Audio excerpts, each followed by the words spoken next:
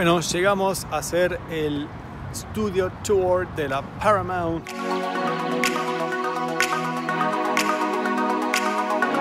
When you think about movies, one of the first studios that you will think of is Paramount Studios. If you love movies just like me, you could enjoy the Paramount Studios tour in California.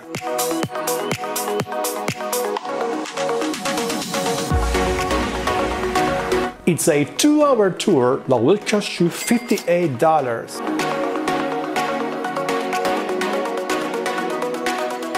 and $178 for the VIP experience, Ooh, which I did not bother by the way. This is not a wow factor studio tour like Warner in Burbank, but for any movie fan, it's still a must. After you check your tickets, you will see original costumes from Star Trek, Sweeney Todd, and the Addams Family.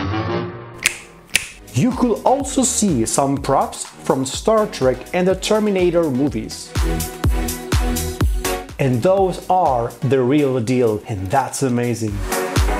You are also going to see the famous Bronson Gate.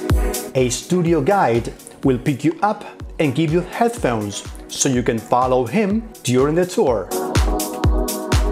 On a cart, because remember, nobody walks around here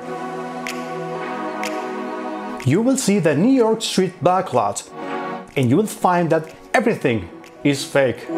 Buildings, entire streets. They made this giant wall to create green screen effects. Ooh! This is movie magic, guys, and it's incredible. Paramount is more than 100 years old. It's the longest operating and only remaining major studio in Hollywood.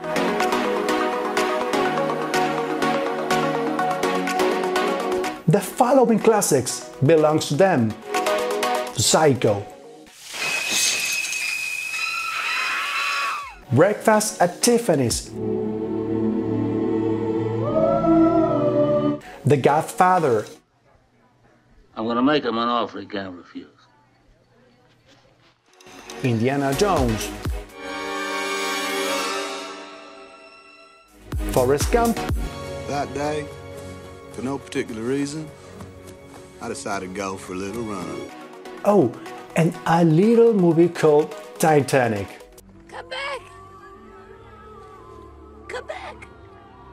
Nowadays, they do Transformers. yeah. From The Godfather to Transformers. They also shoot TV shows like this. This poor woman needs a pack of cigarettes, and she doesn't have a lot of time left. Get us a pack of... You be kidding me. Now I'm to blame because some goober got all eaten up by a bear? So you're a lesbian.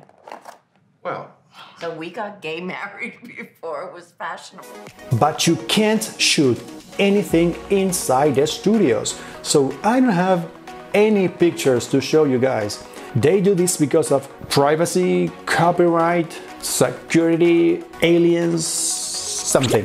Rounding the end of the tour, you can see this place called the Prop Warehouse with very interesting studio props. Optimus Prime from Transformers, some interstellar stuff that I truly loved. A Star Trek transporter platform, this creepy dead guy, plenty of amazing stuff. So if you love movies, you might want to check it out.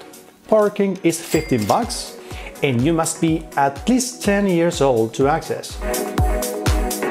I hope you enjoyed this quick video. This channel is about my two passions, which are traveling and consumer electronics. Remember, you can leave a question in the comments and hit on subscribe. See you soon!